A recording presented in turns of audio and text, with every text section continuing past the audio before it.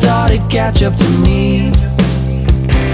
See, I'm not the type to just believe